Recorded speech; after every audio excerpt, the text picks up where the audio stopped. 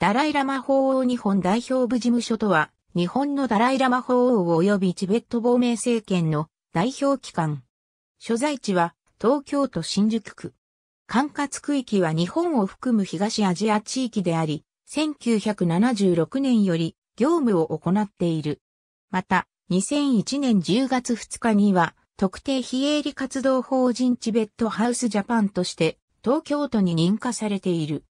日本代表部事務所の責任者は、ダライラマ法王によって直接任命されており、2020年10月より、ゼワンギアルポアリアが代表を務めている。